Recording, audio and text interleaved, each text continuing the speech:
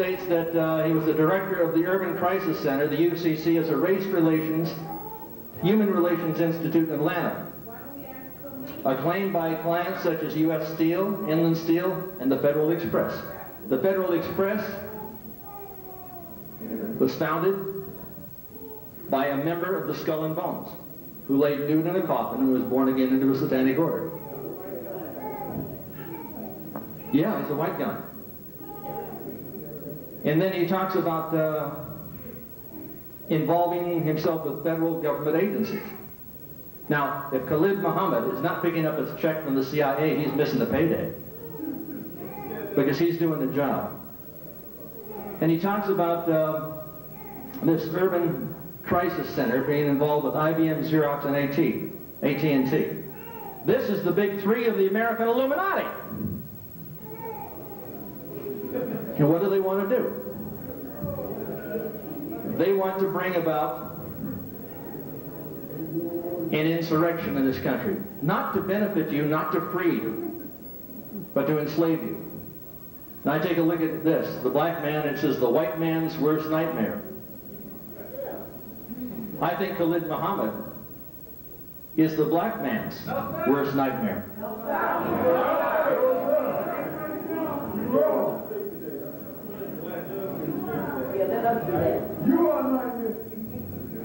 Now taking a look at the uh, the client list over here, and yes, they are from the from the Brotherhood of Death. And I would hope that his relationship with them is by ignorance rather than deliberate intent. The UCC is uh, Khalid's bioreflex is in bed with the Illuminati Fortune 500. And if you don't think it's true, ask him. He'll tell you. Can we get a response now? I'll give you a. Uh, his, his time will come up here in just a moment, Jerry. We do want to know about Osiris. Now I'm going over here to um, some information. The Ford Foundation granted one million four hundred and forty-four thousand seven hundred and still another 597,000 to Communist China and to the Population Control Group. See, they would like to control you. They would like to kill you. They would like to incarcerate you. And I'm taking a look at this uh, convention. And yeah, the convention was put together, uh, it says women's rights. The week's global conference is officially about population. They want to reduce your population. They want to reduce the population of the planet by 1,250,000,000 people. And uh, he has been a supporter of Mandela. You think that Mandela really represents the, all of the people of South Africa? Now here he is uh, with the African National Congress, is a white guy, supporting the Southern, Southern African Communist Party. And he supports Winnie Mandela. Now, now, Winnie Mandela, and I can show you some films, said, we shall free South Africa with our necklacing. That's right. That's right. That's right. And they would take tires and they would put them around young human beings. I saw one 17-year-old girl, black girl. Lit on fire alive. And he says, that's right. Okay, that's, he says, that's right. He thinks that's a good idea. I don't think that it's right to take a young black woman, douse her with gasoline, and light her on fire alive. He says, who cares what I think? See, I believe in freedom and that everyone has a right to choose, to integrate, to segregate, to separate, and I believe in a free world alliance. And I'm taking a look here at um, this particular movement that the Ford Foundation has been supportive of. And there's, a, there's an individual, I think uh, he wrote a, a play called The Toilet. You may know him, LeRoi Jones. He authored a play, yeah, about a degenerate white man who molests blacks in the men's room. White people were described as, uh, as loons, devils, beasts, and liars.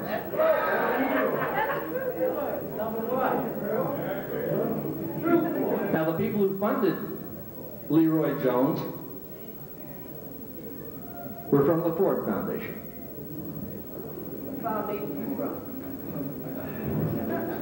And they were looking to do something to create an attitude that would drive people out into the streets. I believe Khalid Muhammad is being used by the Council on Foreign Relations.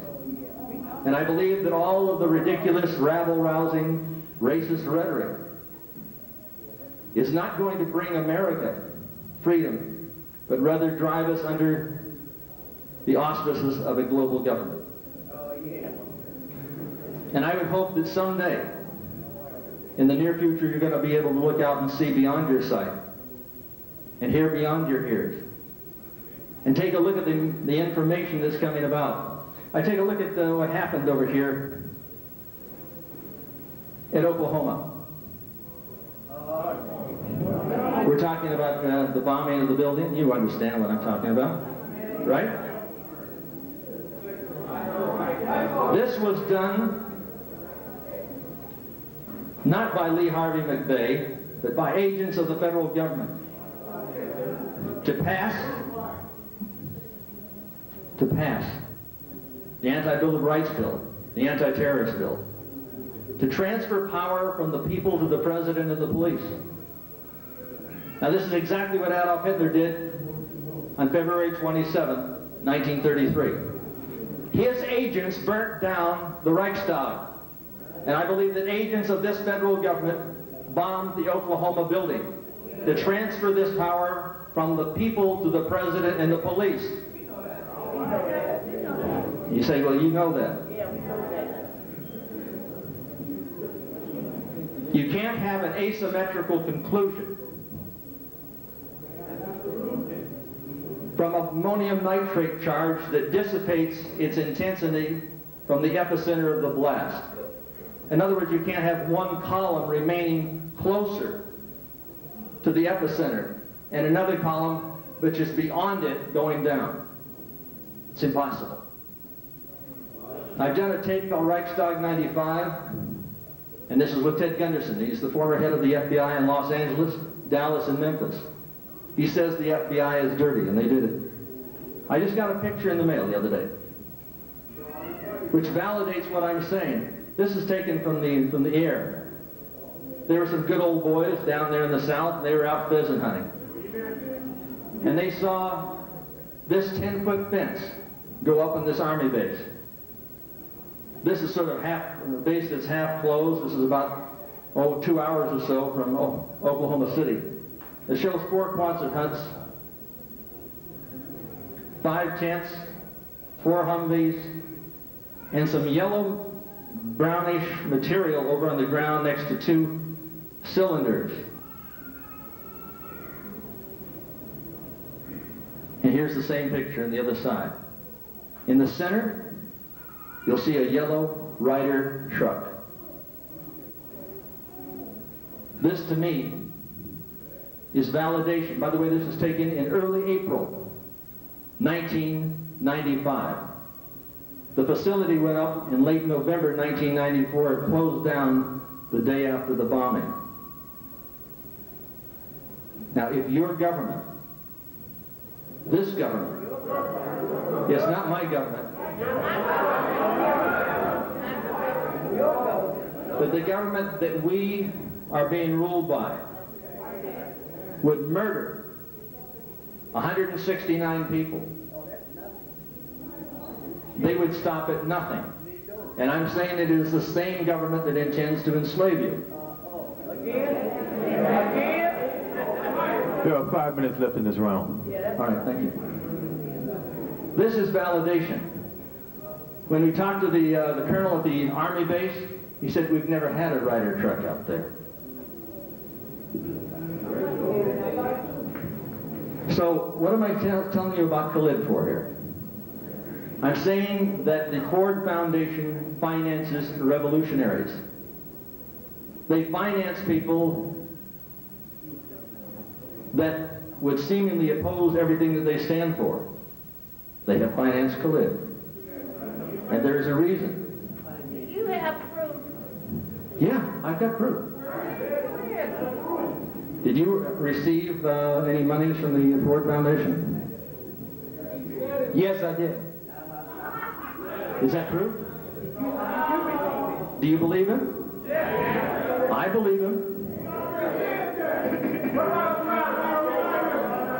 I believe him. There's no question about that. The Ford Foundation is the major funding foundation of revolutionaries in the United States of America. They are part and parcel of the Illuminati.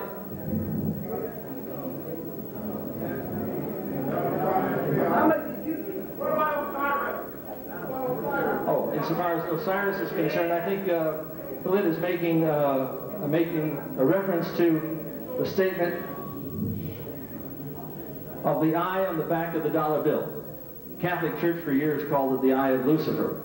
If you take a look at the pyramid, you'll, uh, you'll see this. On the back of the dollar bill it says Annuit Coeptis Novus Ordo Seclorum, the new world order. I say odor. Because if you cannot see it,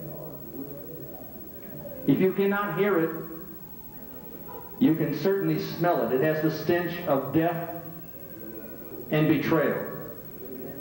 At the bottom it says 1776. This is the creation of the order and sect of the Illuminati. It's not black men in control of this country, it's white men. Evil white men. But that does not make all white men evil. There is a small, small group of these people controlling our currency, our commerce, our health. They don't want you healthy, they want you sick. They don't want you alive, they want you dead. They don't want you free, they want you enslaved.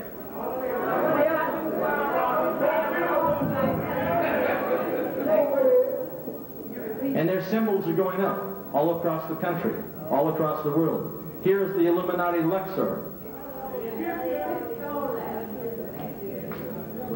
The Catholic Church called the eye the eye of Horus, the Illuminati eye.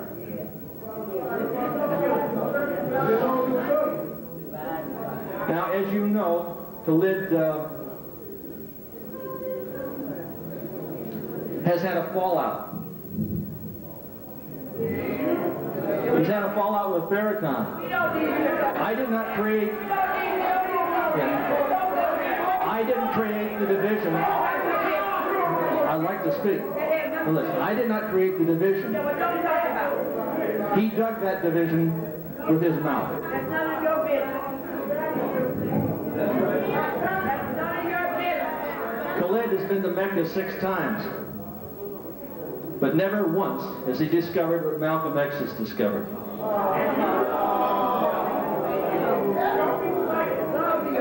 And that is that people of various races can belong to one religion. And this isn't a matter of religion with him, it's a matter of race. And not in saying that all white men are the devils or all white men are the enemy is not only absurd, it's insane. This man should be on the Jerry Springer show Yeah. You just say slave. where he belongs. And after the assassination, One more minute. Yes, one more. right, after the assassination of Bobby Kennedy and Martin Luther King, this government passed a bill calling for the disarmament of America. It's, uh, it is identical in nature, almost word for word, with the legislation, the legislation passed by Adolf Hitler. But that was in 1968. Ronald Reagan was not president of the United States then. So I'm asking for that revelation. And I'm asking that uh, you discover what this man is, because I believe he is an embarrassment to the nation of Islam. And uh, I'm going to turn this over to uh, Khalid. Welcome back to the podium, Khalid.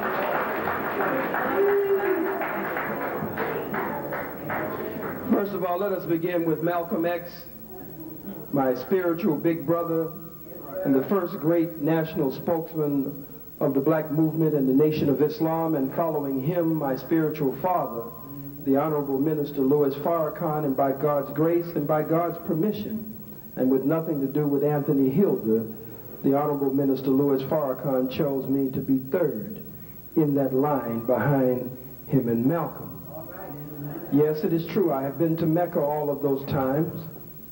And it is also true. I did not find what Malcolm found. I have been seven times. And I found racism among the white Arabs in Mecca so thick until you could cut it with a damn knife. I found ghettos in Mecca. I found that no matter where I went in the world, I found that no matter what the social, political, religious, economic, academic system was, it made no difference. Wherever the black-white dynamic existed, you'll find the white on top, the black on the bottom. I've been to capitalist countries as we are victims of white capitalism. And wherever the black-white dynamic exists, you find the white capitalists on top and the black capitalists on the bottom. If it's a socialist country, you find the white socialists on top and the black socialists on the bottom. If it's a communist country, you find the white communists on top and the black communists on the bottom. If it's a Christian country, you find the white Christian on top and the black Christian on the bottom. If it's a so-called Jew country, you find the white Jew on top and the black Jew on the bottom. Yes, I've been to Mecca, and where the black-white dynamic exists, you find the white Muslim on top, and God damn it, you find the black Muslim on the bottom. It makes no difference what the system is. Wherever the black-white dynamic exists, you find the black on the bottom and the white on top. Some of you say it's a class system. If it's a class system, then you'll find the white man as the upper class, and you'll find the black man and woman as the lower class. No, I didn't find what my spiritual big brother Malcolm found in Mecca. I found racism in Mecca. And I've found it everywhere I've gone throughout the face of the planet Earth, 196,940,000 square miles. I've found it everywhere I went. Now, listen to this damn fool. Talk about the Ford Foundation. You read yourself, cracker.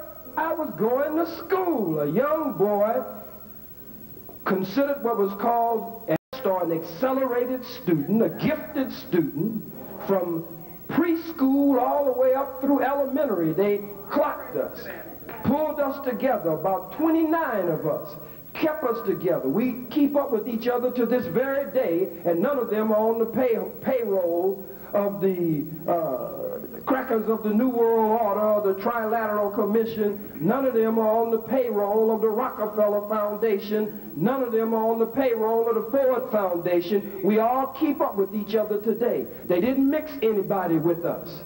These were black elders over us. We were their pride and joy.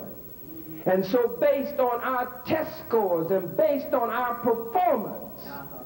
Harvard, Yale, and Columbia. I ain't had nothing to do with no skull and crossbone fool. That's your thing, getting naked and laying down in caskets and stuff. That ain't my thing. Been in no damn casket, naked.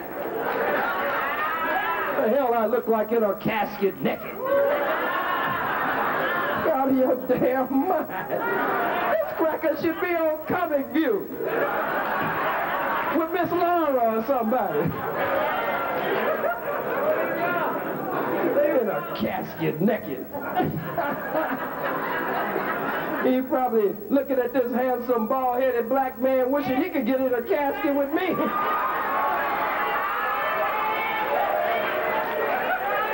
no, cracker. He says, I support Mandela. Lets you know how dumb the cracker is. November 29, 1993, Kean College. That's one of the main things that rocked and shook the foundation of the world. I said that I did not support Mandela. I said I don't agree with Mandela. I said I believe that Mandela is one of the weakest ever to be in any leadership position over black people. But the cracker's a dumb cracker, a dumb devil, knows no better. I said that day that if we were going to give white folks, after they have murdered our black men, women, children, and babies, and the Oppenheimers and the De Beers and others have robbed our diamond mines. We can't even wear a watch or a ring or sisters a necklace or a bracelet. We call it jewelry, but it's really jewelry. Jewelry as they steal all over. That's why they call Rubenstein and Goldstein and Silverstein because they steal in gold and silver and rubies all over the earth. For Mandela to have a truth commission and give them executive clemency and pardon before they even go to court. He could forgive F.W. de Klerk. He could forgive John Vorster. He could forgive the no good, dirty bastards of South Africa, but he couldn't forgive Winnie Mandela, who stayed with him for 27 long years. What more does a black woman have to do? What more does a black woman have to do? It was Winnie Mandela, a true revolutionary. He tries to attack Assad. He tries to attack the pyramids. He attempts to uh, detract from us and attack our great accomplishments as we gave civilization to the world and all of the sciences and disciplines to the world. And now he attacks our heroes and our sheroes and comes right up in our face and disrespects us. I said if we're going to be merciful, we give them 24 hours in South Africa to get out of town by sundown. I say if they don't get out of town, we kill the men, we kill the women, we kill the children, we kill the babies, we kill the blind, we kill the cripple, we kill the crazy, we kill the faggots, we kill the lesbians. I said, God damn it, we kill them all. You say, well, why kill them all? Why kill the women? Why kill the babies? They're just little innocent blue-eyed babies. Because, God damn it, they're going to grow up one day to rule your babies. Kill them now. Why kill the women in South Africa? I said kill the women because the women are the military manufacturing center. And every nine months they lay down on their backs and reinforcement rolls out from between their legs. So shut down the military manufacturing center by killing the white woman. Why kill the elder crackers?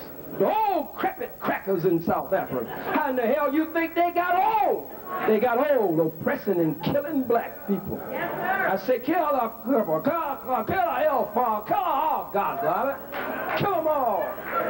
Kill the faggot, kill the lesbian. And after you kill them all, I said that day about Mandela to let you know what he really knows about me, don't know a damn thing. I said, then you go to the goddamn grave and dig them up and kill them a goddamn again because they didn't die hard enough.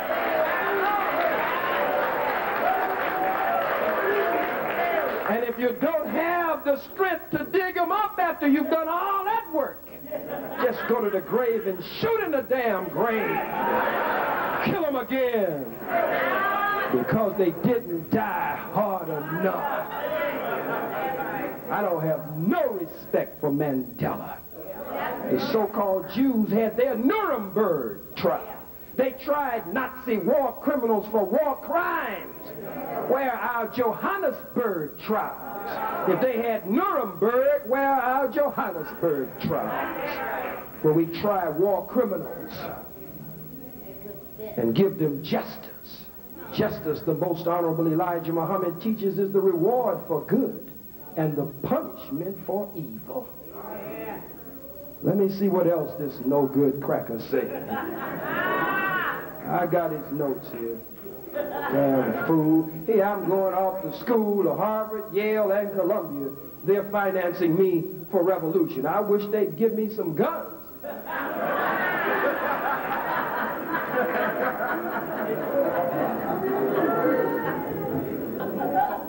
Brothers and sisters, I have proven to you beyond any reasonable shadow of doubt.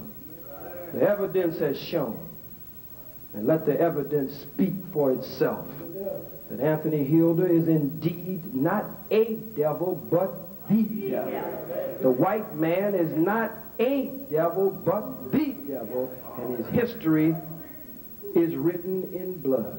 It's a grafted devil, skunk of the planet Earth.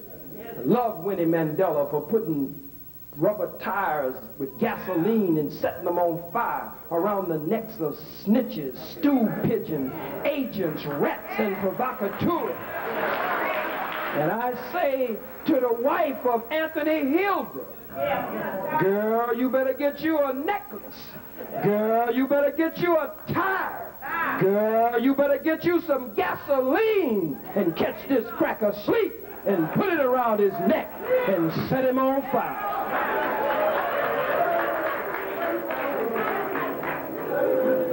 The Holy Quran says, and when the Lord said to the angels, I'm going to place a ruler in the earth, they said, what would you place in the earth?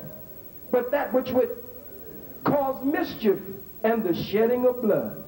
Another scripture, the Holy Quran, in the Holy Quran 20 and 102 says, on the day when the trumpet is blown, we will gather the guilty blue-eyed together. And the Holy Quran says, on the day when the matter is decided, Satan will say, I had no authority over you. I just called you, and you came. So blame me not, but blame yourself. And so now the devil comes to you and calls you. You mean you gonna go? And then the devil will wash his hand when the wrath of God comes down. And he will say, as the Holy Quran says, I had no authority over you. I just called, and you came. So blame me not, but blame yourself. The Bible, in laying it all out for us, tells us that the beast would have eyes before and behind. He'd have a grasp of history and would be able to look down the wheel of time. Ephesians says that we work against principalities, against powers, against the rulers of the darkness of this world, against spiritual wickedness in high places. He already told you the crackers are in high places.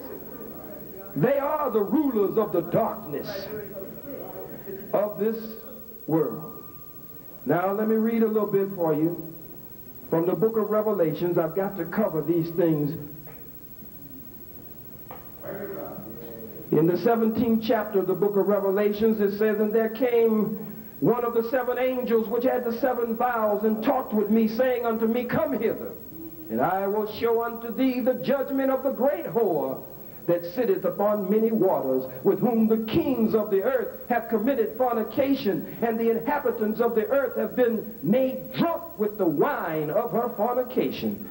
And so he carried me away in the midst, in the spirit, in the darkness, and out into the wilderness, it really says. And I saw a woman sit upon a scarlet-colored beast, full of the names of blasphemy, having seven heads and ten horns. And the woman was arrayed in purple and scarlet color and decked with gold and precious stones and pearls, having a golden cup in her hand full of the abominations and filthiness of her fornication. And upon her head where the name was the name written Mystery Babylon, the mother of harlots and the abominations of the earth. 17th chapter of Revelation, 18th chapter. And after these things I saw another angel come down from heaven, having great power, and the earth was lightened with his glory. And he cried mightily with a strong voice, saying, Babylon the Great is fallen, is fallen. She has become the habitation of devils, the hole of every foul spirit, and the cage of every unclean and hateful bird. Another scripture says, Come out of her, my people. Come out of her. For her sins have reached unto heaven. He says, Come out of her. God is talking to his people. He says, My people. And my is the divine possessive pronoun in this case. Come out of her, my people, that ye be not receivers in her plagues, and that you be not partakers in her sins.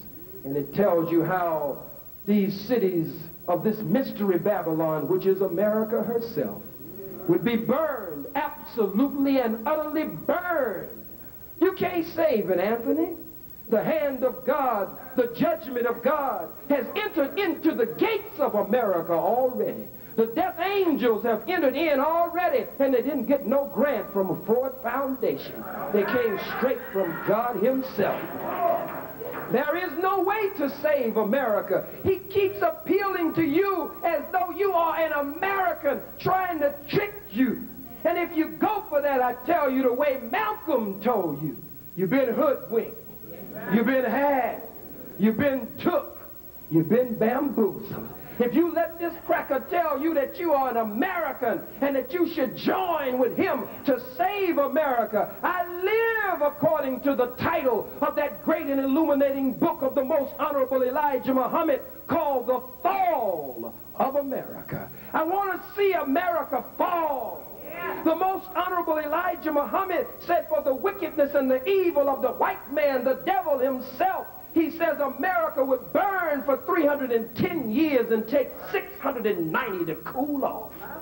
He said a handful of devils would make it out of the first judgment, a remnant of them, and would make it into Europe. If you do right, Anthony, maybe you can make it out of the first judgment and escape into Europe as the God's judgment will strike America first. Maybe if you stop lying you could get an extension of time, but ultimately God's wrath and judgment would reach Europe also. And you would be destroyed in Europe after a period of time. But at least you could get a stay of God's judgment and an extension of time if your nature will allow you to straighten up and stop lying so much. But a devil must lie. That's the end of the 20 minutes? Wow, they came fast. Well, we got 15 more. I got 15 more minutes on you, cracker.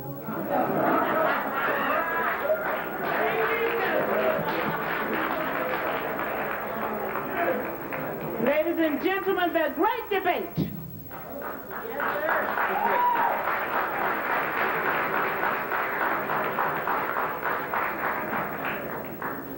At this time, we are going to allow for questions. Closing, sorry, closing remarks. Hold your questions from the debaters, beginning with Anthony Hill.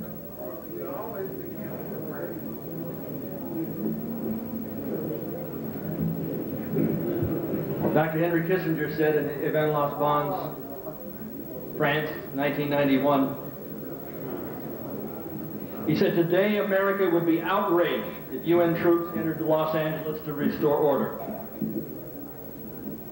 He went on to say that tomorrow they will be grateful, and this is especially true if they were told that there was a threat from beyond. Brothers and sisters, hold your seats and just wait for a few minutes.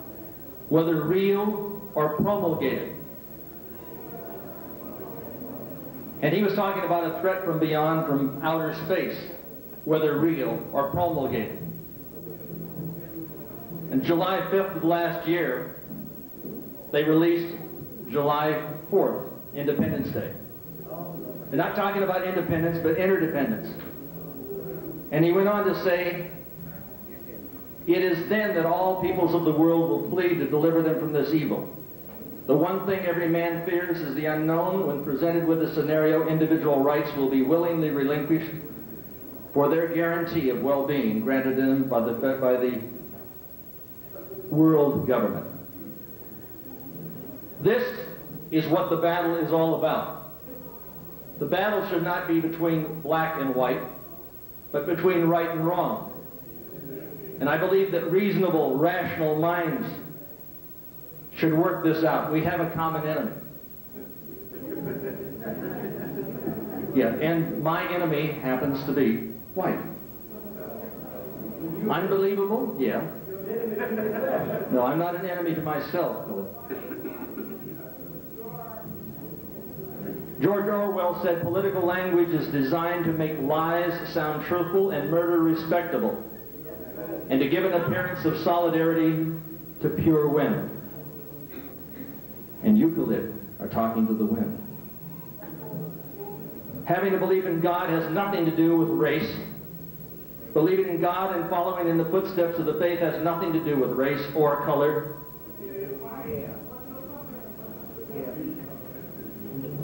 Khalid Muhammad does not cater to the very best in you, but rather panders to the very worst in you. And you, sir, are not leading. You are not leading the people out of the desert into the promised land, but out of the promised land into the desert to die.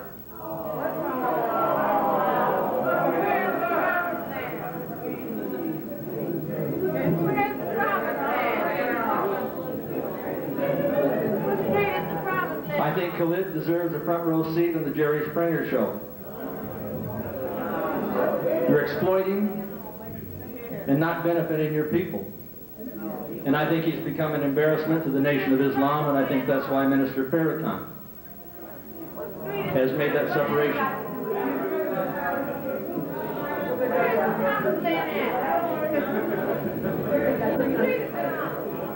In my remaining time, I want to reiterate what is happening in America. We have the Republican Party and the Democratic Party, both controlled by members of the Council on Foreign Relations. In 1980, we had an election. George Bush, from the Trilateral Commission, was running for president. John Anderson from the Trilateral Commission was running for president. Jimmy Carter from the Trilateral Commission was running for president. In 1980, it was a heads they win, tails we lose. Even if the coin landed on its side, we would lose.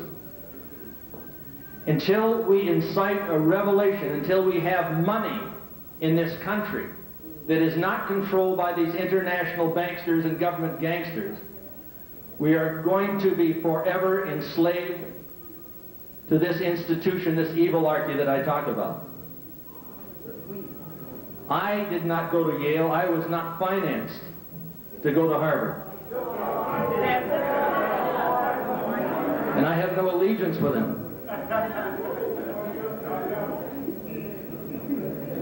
But I know that individuals in the Ford Foundation are interested in reducing the population of the planet. This is not a question, it's a reality. And when we take a look at the New World Order emerging, and we take a look at how they work over the races, like what color is black. My children are half white, they're half black. Are they then half devils? Yeah. Oh, they're, they're half devils because they're, they're mixed?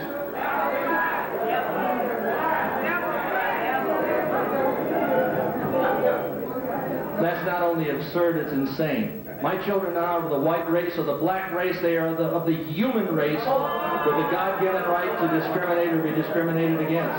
And we have a survival And some of you here are part white. Are you part devil?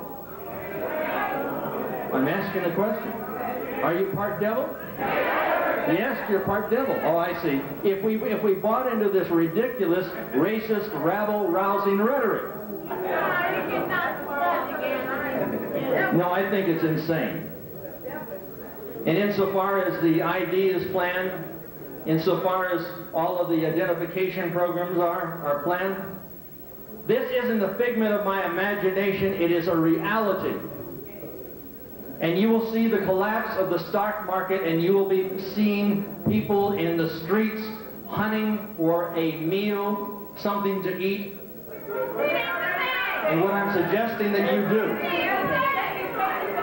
I am, if you be kind enough and respectful enough to listen, you came, you paid ten dollars here to, to hear both of us in a debate. And I'm, I'm quite capable of, of debating Khalid. And that's who I intend to debate with. So, insofar as this is concerned, this problem, I offer solutions. Khalid offers rhetoric. What I am suggesting is that each and every one of you take as much of your money as you can and get gold and silver coin. I'm suggesting that you have survival equipment. I'm suggesting that you got that you buy gold and silver and lead. I'm suggesting that you buy food and that you are prepared for the worst because the worst is yet to come. Now, if you have if you have done any study at all, you will understand that what I am saying is true. I speak from my heart. You say, well, Khalid says, uh, this brother out of uh, the East Coast, and I'm trying to think of his name. Well, anyhow, that he came up with all of this information. I think he, and he's talking about the uh, Boule.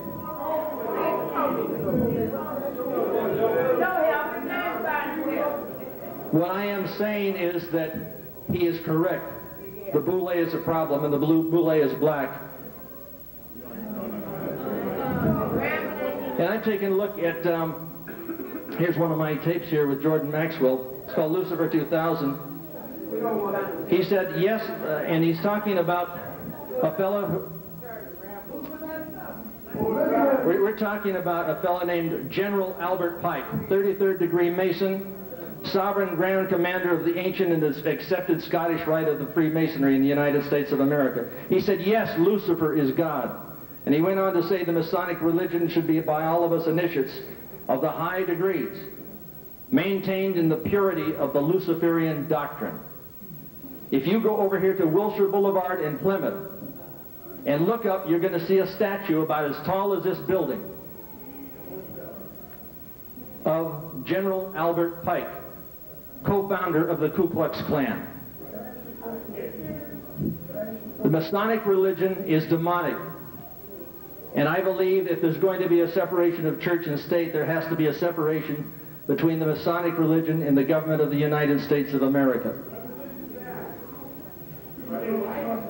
Are they white?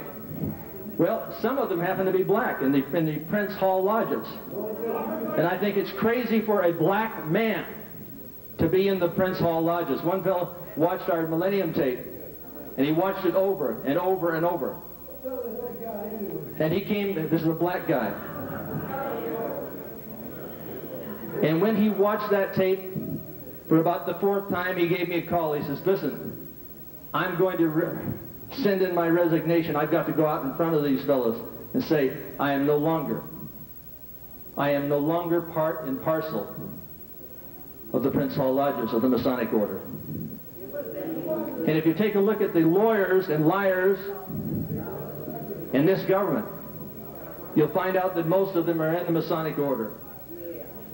In some way connected. And yes, there is a satanic order above the banksters. And yes, they do lie nude in a coffin. And they are born again into a satanic order at the Skull and Bones, the Brotherhood of Death at Yale. And what I'm saying about Khalid is that he is being used by the Council on Foreign Relations to bring about a revolution rather than a revelation. And I would like to see and I would support a separatist movement if, if uh, the Nation of Islam would like to have its own nation. I would honor it. I would support it. And when he says, no, I would not, you better think again.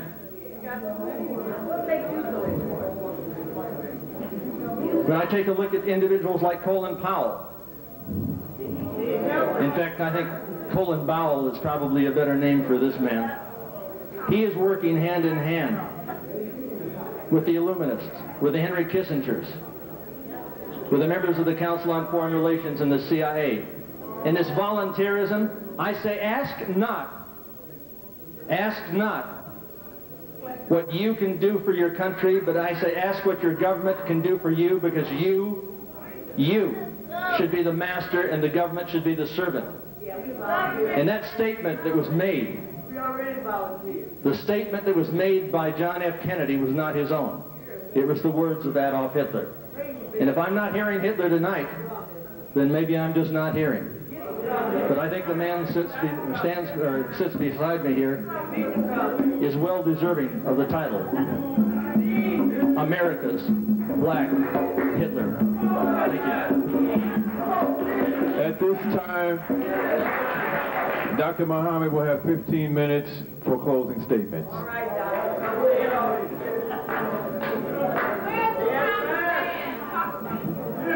I want to first of all point out that in a study in the Journal of Black Psychology dealing with religiousness, race, and psychological well-being, exploring social psychological mediators, that they have determined that black people are more connected to God and more spiritual and more religious as the psychologists and psychiatrists have studied, and white people have a natural leaning or inclination, I might add, toward that which is Luciferian, devil, and satanic. Look, brothers and sisters, look at their constant preoccupation with their little league teams, with their elementary school teams, their junior high school teams, their high school teams, and some of their national adult teams. Look at their preoccupation with the name devil. They're red devils, they're blue devils, they're the devils. They name themselves and they name their teams after all of these names. He says, we will see the collapse of the stock market. What in the hell do I care? We want to see the stock market crash. The only way we can realize our rise is to witness their demise. They must fall in order for us to rise. Don't you be out there trying to hold up America and get in the way of God's wrath, and God can't hardly get to the devil for you being in the way. You better get the hell out of the way.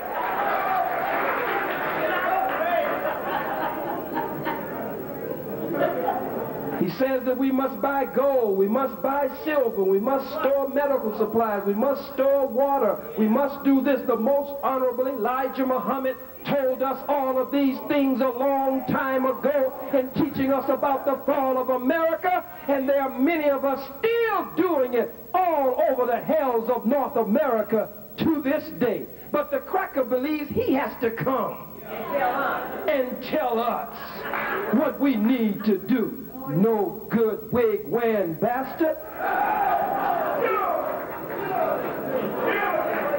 He punked out. He wouldn't deal with Asar or Osiris. He only mentioned the pyramid and the eye over the pyramid on the back of the dollar, which is not the eye of Heru.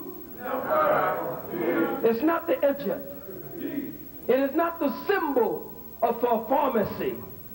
It is not the symbol that comes up out of our ancient forefathers and foremothers when you study our history and our history. This is a cracker's eye on the back of the dollar over the pyramid dealing with exactly what we're talking about turning our supreme wisdom directly from God upside down and turning it around and turning it against us brothers and sisters I repeat I have proven to you from the teachings of the most honorable Elijah Muhammad.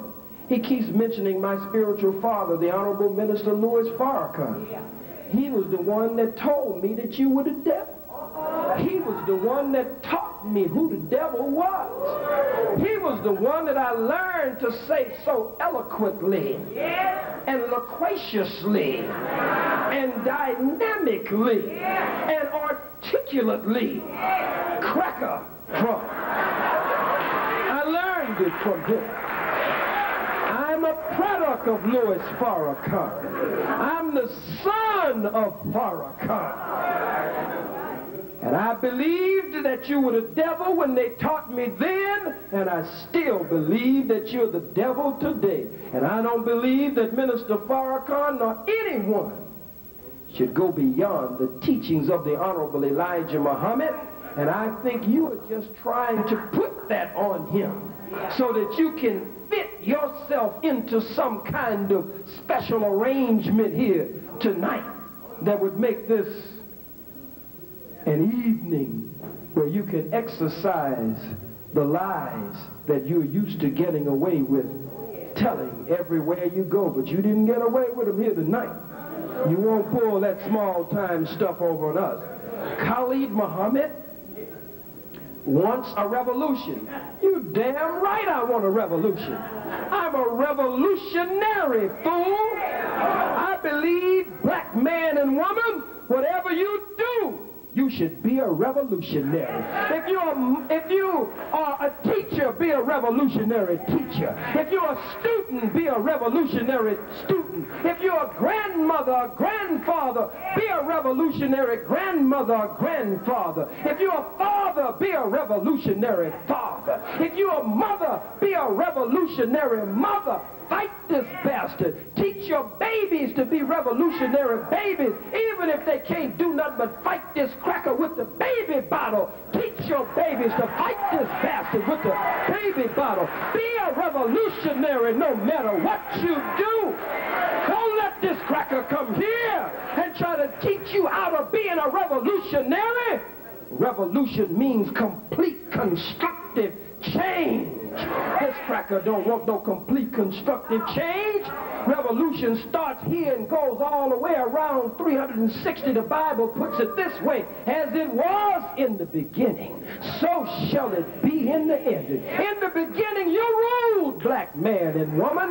In the beginning, it was your monetary system. In the beginning, it was your economic system. It was your system of government and jurisprudence. It was your academic system. It was your social order. But now a cracker wants you to accept one group of crackers over another group of crackers, and you get back to your original godlike self. No good, black man. No good, black woman. I'm a revolutionary. If you're a rapper, be a revolutionary rapper. Rap revolutionary rap and liberation lyrics. If you write movies, be a revolutionary movie maker. Make movies that move and motivate the movement. Make some movies where we kill white folks in the movie so that we can understand our possibility. The cracker will give you money if you are shooting your brother in the head with your gat, with your Glock. If you're blowing your brother's brains out and blowing it all over the wall, boys in the hood, huh?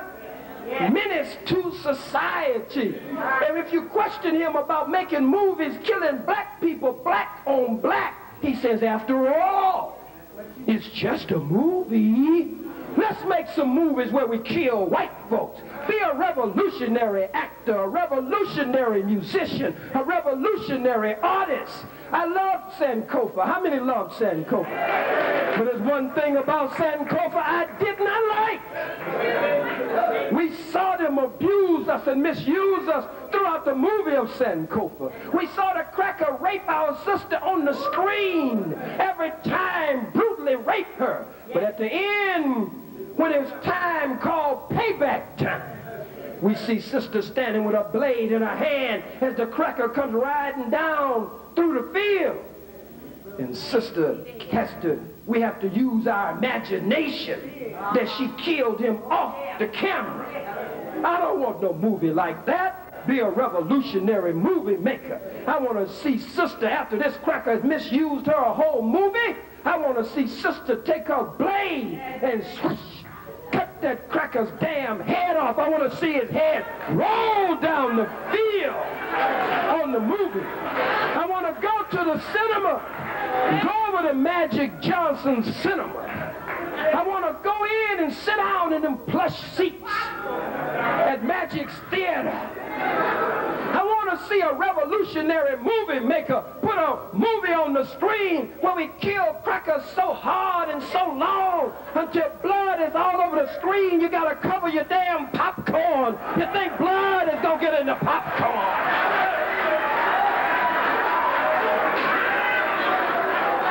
After all, after all, it's just a movie. It's just a movie. The most honorable Elijah Muhammad not only taught us of revolution, meaning complete constructive change, or he used the term resurrection. Resurrection. But he also, Anthony, taught us of revelation. He says that God revealed to him, that God revealed to him in the person, that God revealed to him that the time for the rule of the white man is up that he was given six days or 6,000 years, as it is in the Bible. Six days shall thou rule, O man, and do all thy work. But on the seventh day you will be put to rest. Second Peter 3 and 8 says, Dearly beloved, be not ignorant of this one thing. One day with the Lord equals a thousand years, and a thousand years equals one day. So 6,000 years the cracker was given to rule. The most honorable Elijah Muhammad said, God in Revelation revealed to him that God in the person revealed to him that separation was the best and only solution. That we have to get away from this death. That we would be all right, Anthony, if we could just get the hell away from you. We would be all right. The only reason we let you in here tonight is to show your skinny ironing board backside straight up, straight down, six o'clock, flat behind, up. That's the only reason we let you in here tonight. That's the only reason says I'm a discredit. How many of you believe I'm a discredit to the nation of Islam? How many believe I'm a credit to the nation of Islam and the black nation? Let me see your hand. How many of you don't know what the hell you believe? That's all right. Brothers and sisters, it's freedom time. No more we shall overcome. The song now is we shall overrun. We should support whatever the enemy opposes and oppose whatever the enemy supports. Support whatever the enemy opposes and oppose whatever the enemy supports. But when you get a cracker like this, they playing both sides. Oh yeah. Cracker's quick to do that on you now. Oh, cracker over here, be on that side, then you have another cracker on this side. He said, if you miss him over there, Charlie, I'll get him over here, buddy. If you can't get him to follow you over there, girl, I'll get him to follow me over here. And I'll tell them all the good things. The cracker said some truth. The devil can do good. But that doesn't make the devil good. The real enemy is the white man. Let us unite. Yes, let us make an alliance. Yes, let us build an African united front and a black united front. Yes, let us store our water and our medical supplies and our food. Let us begin to train and teach each other. Each one teach one. Yes, let us get our gold and our silver, which is what this system used to be based on. Now they're just hanging paper. Yeah. Ain't backed by nothing from Fort Knox or nowhere else. And the Federal Reserve is owned privately by these cold-blooded crackers. But a cracker is a cracker, is a cracker, is a cracker. You can never trust a cracker. You can never trust a peckerwood. You can never trust the devil. No way on earth you can trust this devil sitting right here. If he comes with good information, take the devil's good information and bid the devil, get thee behind me, Satan, and send him on his way. Lift every voice and sing till earth and heaven ring. Lift every voice and sing. But at the same time, you better lift every fist and swing too. Thank you for listening. Assalamu alaikum. Brothers and sisters, we need you to take your seats. Brothers and sisters, we need you to take your seats. The program is not over. The program is not over. Brothers and sisters, please hold your seats for a little while. I mean, if it was a party, if it was all night, it would be all right. If it's all day, it's okay. Brothers and sisters, now one of the more interesting aspects to this debate will be next. That is question and answers. Originally scheduled, we were going to have you write your questions on cards. We are now going to allow you to come to the microphone. We also have a special message from the pastor of this church who wants to come forward and talk to us. And also I have Brother Kareem that is going to assist us with our donations. Is Pastor Gathers here? No, I got it. Reverend Gathers. Is he here? Is Reverend Gaither here? Brother Kareem is going to come forward and assist us with, uh, with our donation. Brothers and sisters, as we get ready for our questions, we are waiting to hear from we are waiting to hear from our pastor who has opened his doors and from what I hear he has always opened his doors to the black community. Um, what's your name, brother? Huh? Brother Emania Stan. This is one of the great, great artists in the black community from the old tradition of our ancestors, imbued by the spirit of our ancestors. And uh, what's the name of the brother with the uh, Temple of Ptah? What's his name? Brother Proctor. R brother Prentice, that's right. Brother Prentice right there in the Baldwin Hills Shopping Mall. Brothers and sisters, all of you must go. It's called the Temple of the Valley of the Kings, the Temple of Ptah. Is that right? Come up so they can see you, brother. Here's our pastor who has come up, Pastor Gaither. But come right on up. You and the brother, come right on up, brother. We do that in a few minutes. The pastor's here. Let's not hold the pastor. Brothers and sisters, put your hands together and let us give thanks to God and the ancestors for Pastor, uh, or rather Reverend Gaither. Good evening. I just have a few requests as the evening winds down. I'd like my people to know that this is still their place in the morning. So please take everything that belongs to you as you leave. My staff will be here way past 1 o'clock trying to clean up the church before the morning rise. So please, please take that which is yours. I want you to know that I enjoy opening my building for these kind of events, but we can only, I can only do this if you respect the building. Please respect the building while you're here. I don't mind taking a heat, but do your part. So it makes it easier for me to make my stand when I make my stand.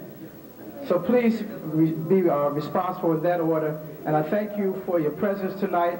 It's been a wonderful time, and I thank the speakers for the time that they've spent. But more importantly, I thank us all for gathering for the hours that we gathered to raise our consciousness just another level. Amen.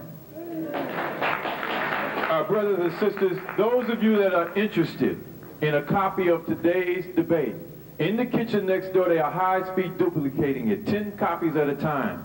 Before you leave, I would suggest that you get one. This is a debate for all times. We also have vendors in the back to your direct back that have uh, many supporting materials for tonight's debate. Uh, brother is going to help us with our donations. Brothers and sisters, we want to uh, offset as many of the expenses. As you know, we ran it on radio all week.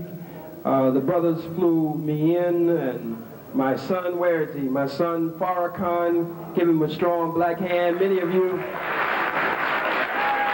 Many of you have watched him grow up right before your eyes. Very strong young man, very brilliant young man, very conscious and committed. And I just love him, love him, love him. so, and to fly in security and staff, this is Brother Al Kareem Muhammad. He is one of the strong student leaders that invited me to Kean College November 29, 1993. Let's give him a strong black hand. So with the rental of the church and all of the airline tickets and the radio and the promos and and uh, I guess love offerings and honorariums, what we're asking you to do is to help uh, help us to defray uh, some of that expense and or all of it if we can, and to do all that we wanted to do in the grandest manner. Is there anyone here that do we have any baskets, any buckets? Well, it's got to be in the audience. Where's the other one? Hold them up, please. Stand. Need somebody on this side, and we have someone on closed circuit. Where is it? In, in the adjacent room. We filled up this room, this one, and the adjacent room. Is there anybody here who will write a good check or give a hundred dollars? There's someone in the back. Get his name quickly and get the hundred dollars. Brothers, you got to be looking with the basket. There's a man in the back trying to give you some money. Is there anybody here who will join brother in the back? And we need some more hundreds, fifties. There's one right there. You got to be looking. Those with the baskets. You all right, devil? He said, "Oh yeah." See, you catch the devil off guard. He tell a little truth. Brother Jeffrey, $100. Give Brother Jeffrey a hand. Come on, brothers and sisters. Give him a hand. We need some more hundreds. We need some more fifties. Show the devil that we support our programs. Any more hundreds out there? Good checks. Here's a 50, a 100, a good check. Got to watch raising a hand up, brother. Any more 50s or hundreds out there? Where's his wife? That's his queen. Look how beautiful this queen is. Give her a strong black hand, brothers and sisters. This is a beautiful queen. Beautiful sister. Devil, how did you get that sister? You got one of our best sisters, you no good bastard.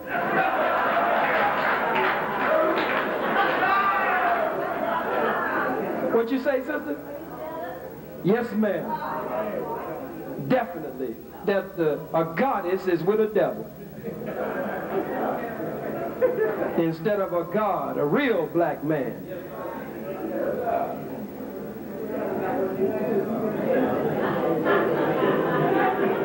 You see him wink, that's one of the characteristics of the devil. I knew I would get it before tonight. winked. We need some more donations. Are there any 50s? Hundreds, what about 20s and 25s? Anybody that will give $25? Let's wipe out all the airline tickets right now. Any 20s or 25s in the audience? Hold your hands up right now. Any 10s in the audience? 10s, 20s, 50s? Let's pass, where the silver uh, buckets? Bring them up front, just pass them, get whatever, no, just let them go, brother, on the front row. You have to start on the front row.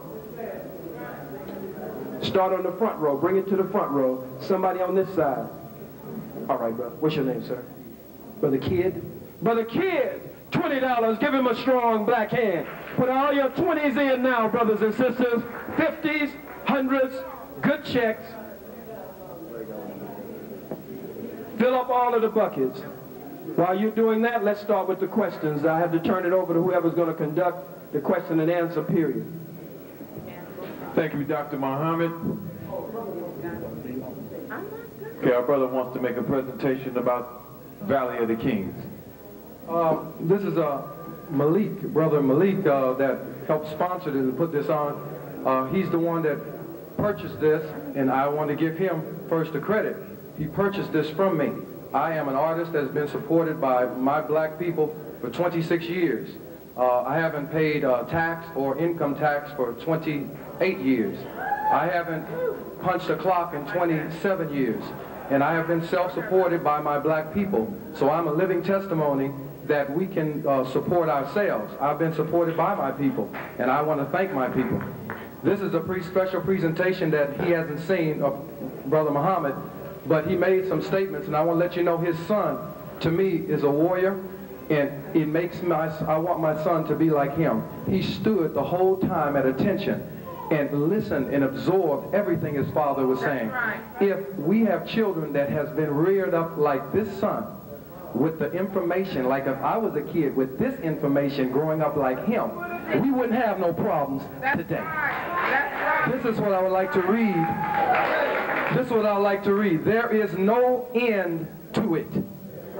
As liveth Osiris, and as liveth my soul, So liveth my son, the light of my world. For the youth shall lead the way.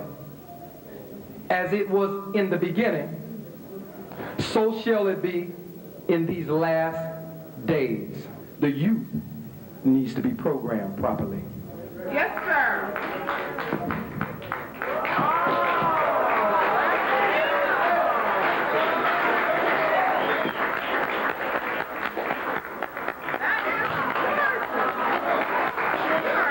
Say something about the,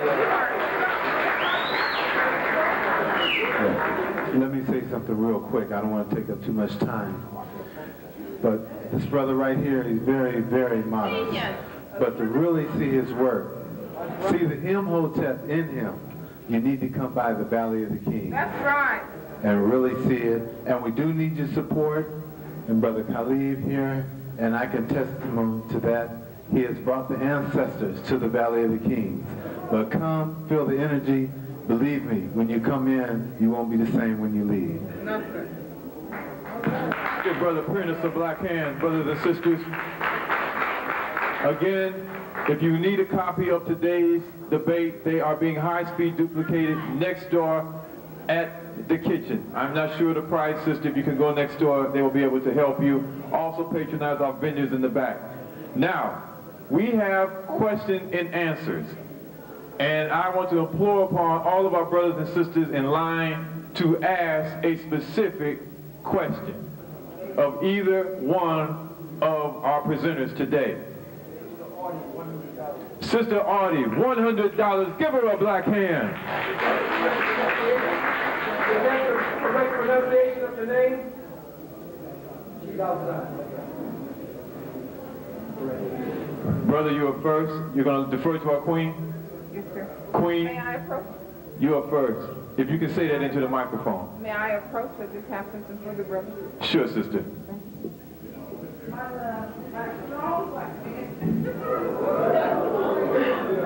Thank you. I just wanted to bring you a token of my love and appreciation. And Farrakhan, you're just growing so beautiful. I love you too. Thank you. If you hear May the, May the 12th, please come to court with us to see Patricia Moore go down. Yes, Thank you. Thank you, sister. Give her a black hand. To see what, sister? Patricia Moore! Patricia Moore. Traitor. The traitor. Former consul, consul, Patricia Moore. Okay, brother, you have the... Again, please ask a specific question. Uh, can we have someone that can turn on the floor mic? We need the floor mic on. Testing, testing. Is- Okay, Can you hear me? brother. Brother, you have the first question of the night. Okay. Uh, my name is uh, Marcus, and uh, I'm acquainted with uh, Mr. Hilder. My question is directed at uh, Mr. Anthony Hilder. Uh, when I met you for the first time, uh, you showed me a, a picture of your... Give, give him a chance here and be quiet so Marcus can speak, please. You showed me a, a picture of yourself uh, in uh, either South Africa or Zimbabwe, which was known as uh, Rhodesia at the time. And you were kneeling over the dead bodies of either 8 to 12 uh, black soldiers, and you had a big grin on your face. No, I didn't- I would like for you to explain uh, to this audience as some of your fellow white researchers have told me that you have murdered black people before in Africa. I'd like you to explain to this audience what were you doing in South Africa, who were you working for, and what was the reason why you were standing over those dead brothers. Okay, um, he's asking the question about my trip uh, to Rhodesia. And this was uh, during a, a time of war. I was acting as a journalist. Um, I was brought out to uh, Rusape, and at that particular time there was uh, uh, 20 individuals who had been uh, killed, and I believe they were killed by Frantan. Frantan would be the equivalent of napalm. Uh, as a journalist, I was uh, squatting down. I had uh, my picture taken at that particular time. These fellows had some AK-47s. I was stating that it was a communist revolution and that I was not in support, obviously, of that. The people of Rhodesia supported and elected and wanted Bishop Abel Muzorewa. They did not, uh, they were not allowed to, to, uh, to have that selection, but rather there was a forced election, and it was not by, by ballot, but rather but by bullet. And I wasn't uh, smiling, I was uh, uh, wincing a little bit because of the stench of the bodies in the south, in the uh, southern African sun. I hope that answers your question. What? Uh, Did, did you ever participate in the murder of any uh, No. black people over No, in no, uh, South. Africa? Because according to some of your other white researchers, you did. No, I was not involved in that. I was engaged in a word war, and I went to Southern Africa. And by the way, I was uh, when I got off the plane, um, and this was in, uh, in Johannesburg. I was arrested by the South African police and held in Johannesburg. I am still persona non grata in South Africa because I was going to Africa to put up a plan for a United States of Africa which would recognize the tribal, linguistic, and racial nation states. And we So- want you to please limit your question to just one. Just one question, please. Just one. One question. Okay. okay. It says, um, um, Anthony. Every time you talk, of, Anthony, every time you talk about the New World Order, why is it that they only out to destroy the black people? What's so about us that they have to Well, that they have to get rid of? Adolf Hitler wrote the book, The New World Order. This is not something that was introduced by George Bush. Um, when I talk about they, uh, they considered black people to be inferior um and, and expendable, let's put it that way. So it's, it's not just simply the extermination or elimination or culling of the black race. They want to reduce the world's population by about 80% eventually. So if we're talking about uh, five and a half billion, or you know, people here, uh, we're then talking about reducing the population by essentially four billion people. So it's not just the blacks that they want to reduce; it is uh, whites and blacks, or anybody who is in uh, in opposition to them. Okay, we're talking about a, a Cassius cartel. The Cassius cartel is basically white, and uh, there's a few people in the Boulé who go along with, with the program. So it's not all done by whites, but mostly. Before the next question, there's a Ford license number 3TVF389. You're blocking someone in the handicap parking space. Would you please move your vehicle? That is a Ford 3TVF389. Please move your car immediately. Next question. Uh, Anthony, you said that the Masons, the Skull and Bones, and the Illuminati are all worship the devil. Uh, Brother Khalid suggests that you deal with them like John Brown. I, I would like to ask you, how would you deal with these people who you say uh, worship the devil? Well, for freedom to live, they must die. I'll just put it as simple as that. Uh, they must die politically, physically, financially. We should not. We should not in any way support any of their businesses. We should have nothing to do with them. Yes, ma'am. Before the next question, there's a BMW 3TND782 that's blocking the car that I just read off the license number.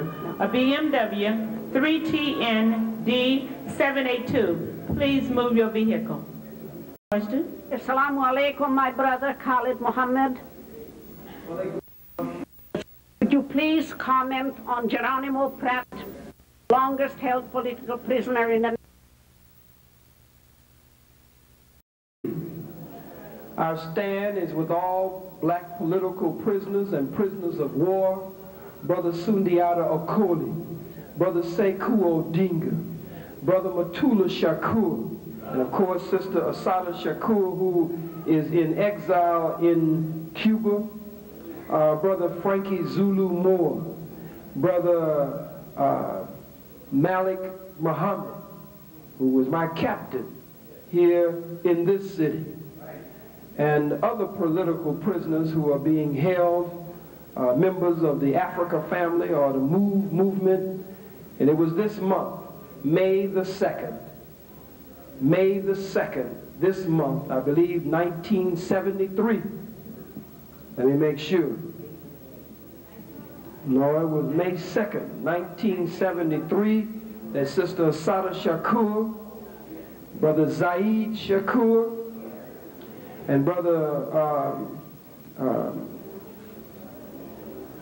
Sekou, not Sekou Odinga, uh, Brother Sundiata Acoli in the shootout on the New Jersey Turnpike with the state troopers there where Brother Zayd was killed, Sister Sada was wounded, and then later locked up. But it was in November of 1979 that the Black Liberation Army freed Sister Sada Shakur. So we know that after the Black Liberation Army in November of 79 freed Sister Sada Shakur, we know that Ruchell Magee, we know that other political prisoners, Brother Geronimo and others, if we cannot get them out, and in truth and reality, we will not be able to get all of them out through the court system.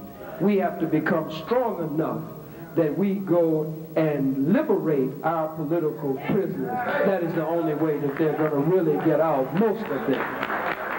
I have one question uh, for Khalid.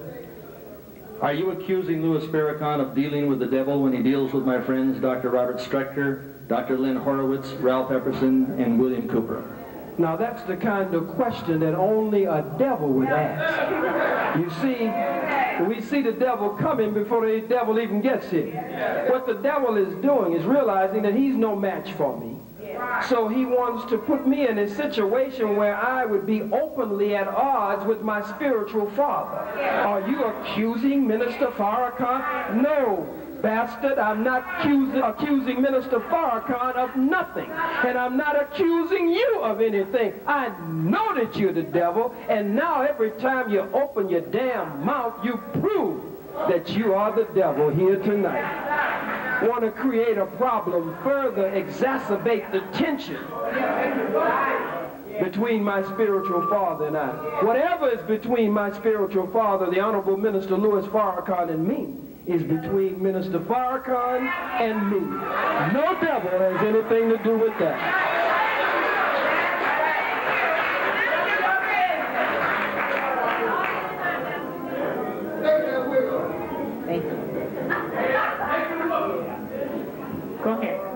Assalamu alaikum. Um, first of all, I wanted to say that I was offended when you gave credit. You know, you did this a few times tonight. That um, there Speak are certain up a little louder. We there are certain artifacts that come from our history and culture that you give credit to belonging to the Illuminati and the Masons. You did that with the Luxor, and you did that with a few other things. So I want to point out I am offended because that's our history and culture. They took it from us. It started with us. The other, the question I have though is, um, I was. I am not they. First of all, let's let's straighten that out. That's your opinion, okay? But but anyway, my question is that you know the topic tonight was is the white man the devil, and and it seems to me that everything that you've said so far confirms that. And so I was wondering, where is your proof that the white man is not the devil? That's what I wanted to know.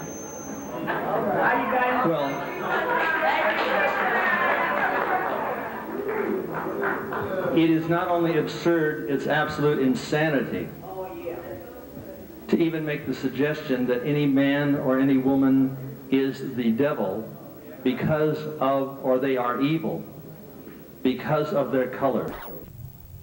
That is not only absurd, it is insane. My question was, Okay, only Where- one question, ma'am. it's the same question. He didn't answer it. Okay, Where maybe- is your proof that the white man is not the devil? The proof.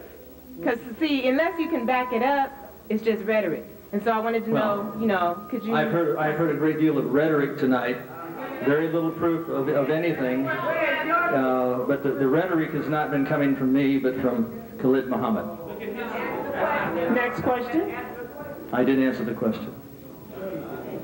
My name is Gary Williams. I'm the producer and host of uh, the TV program Contemporary Christian Theology. My question is directed at Dr. Khalid Muhammad. Uh, it's uh, because of your theological training. Jesus spoke about the devil, uh, seeing the devil fall to the earth.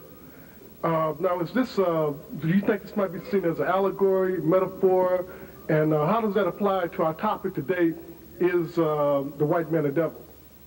The scripture, very good question, my brother. The scripture says, O Lucifer, son of the morning, how art thou fallen from heaven?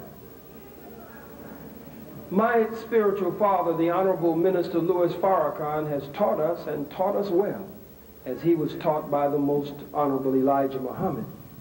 Lucifer. It means light bearer.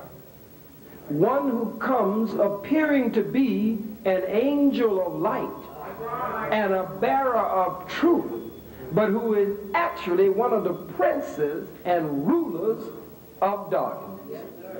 They fall from heaven, meaning that their lie is not able to stand. Their period of rule and dominance and global supremacy is not able to stand.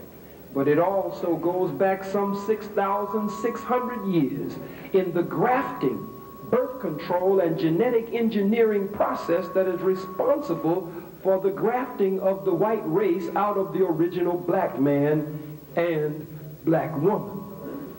You see, it is important to understand, he asked the question earlier, that if he has children and they has a black mother, they have a black mother and him for a father, would that make them half devil?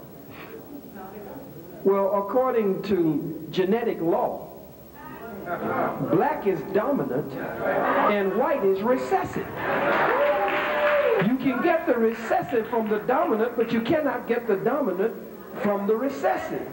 And if a black parent and a white parent have a baby, that baby is biologically and genetically black and catches hell in the white man's world just like they're black and would have to carry a sign to convince anybody that they had a no good, trifling, ugly white daddy at home looking like Anthony Hilton. Now, Lucifer, the son of the morning, again, this has to do with the grafting of the white race out of the original black man and woman, but it also, in an esoteric sense and in a scriptural, scriptural metaphoric sense, has to do with the fall of the white man's world and the fall of the white man from a high exalted place of rulership that Ephesians was talking about when it talks about principalities and the rulers of darkness and how they would be in high places. O Lucifer, son of the morning, how art thou fallen from heaven, coming bearing some relatively good information, coming as a distributor and, and, and a bearer of light. But actually, you've asked a wonderful question. Actually, one who is one of the rulers of darkness.